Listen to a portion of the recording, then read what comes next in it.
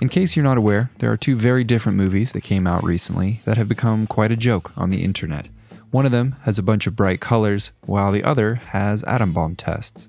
I'm going to combine bright colors with an atom bomb test and put it inside this bell jar. I started things off by cleaning the jar because it was pretty dusty. There was a large sticker on the side which gave me quite a bit of trouble trying to get it off.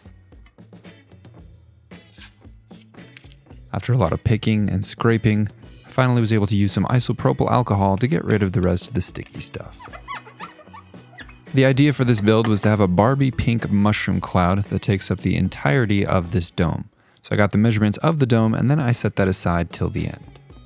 The first thing to figure out on the base was the positioning of the battery housing. I'll be using two AA's to give the lights their power. I grabbed a pencil to mark the position. When I flipped the base over, I ran into another sticker, which was a blessing. But after that was gone, I was able to pencil the shape that I needed. To drill the holes, I used my rotary tool in a drill press stand. I made sure everything was tight and properly aligned, and it was time to drill some holes.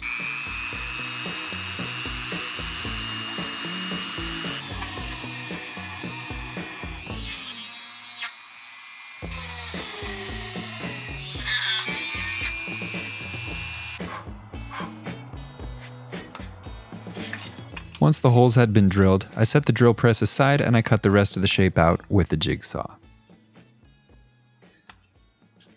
Of course, I also needed a way to turn this explosion on and off, so I added a switch to the bottom as well. There was just enough room on the bottom to route a hole without breaking through the top. It's a very ugly job, but the shape and the size are correct and it's also hidden on the bottom of the base, so I'm not too worried about it. After getting the switch figured out, it was time to prep the wires. I clipped and stripped the red wire coming from the batteries, then I got my soldering iron out and I waited for it to heat up.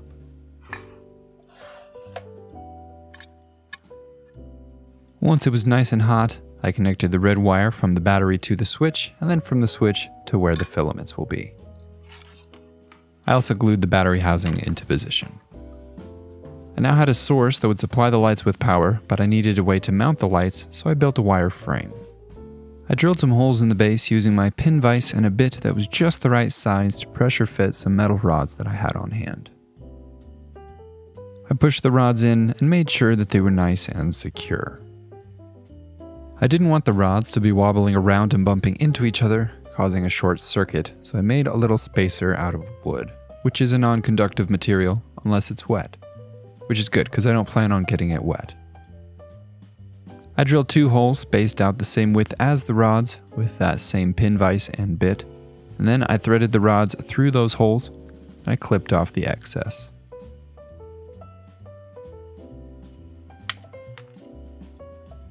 For the large lower horizontal ring of the mushroom cloud frame, I bent a rod into an appropriately sized hoop. I soldered the ends together and then I soldered a rod across the middle to connect it to one of the vertical rods.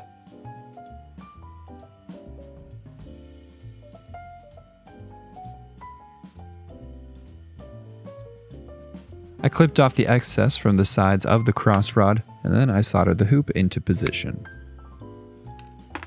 I made the center rod slightly off center on purpose so that when I connected it to one of the vertical rods, it would be centered to the base.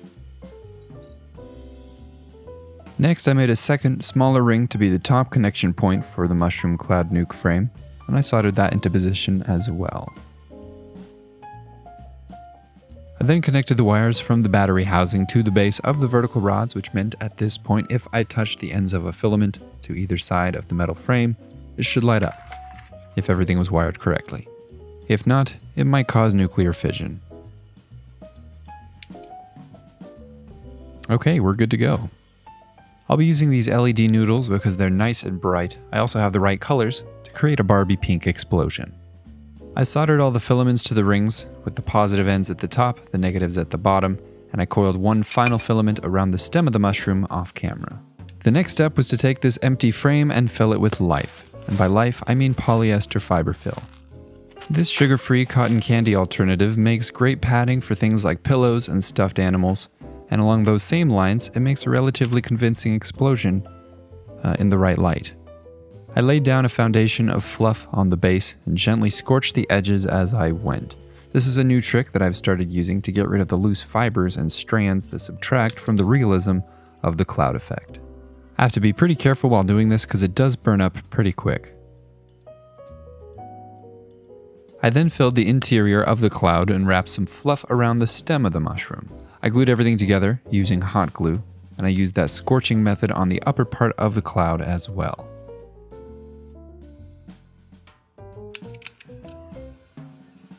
I added smaller, denser clumps of fiber fill strategically around the first layer to create a more realistic looking cloud formation.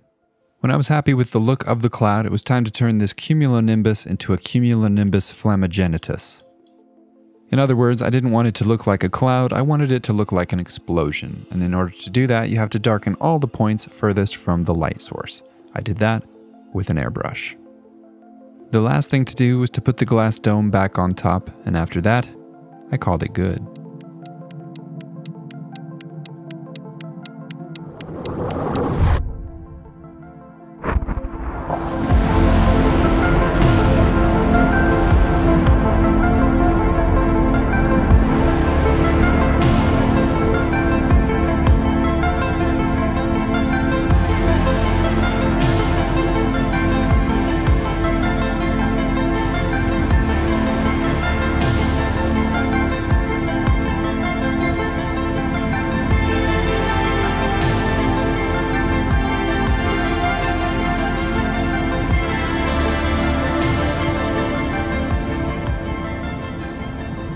That is it for this video. Thank you all so much for watching. Hope you enjoyed. Huge shout out as always to my patrons. You guys are the best.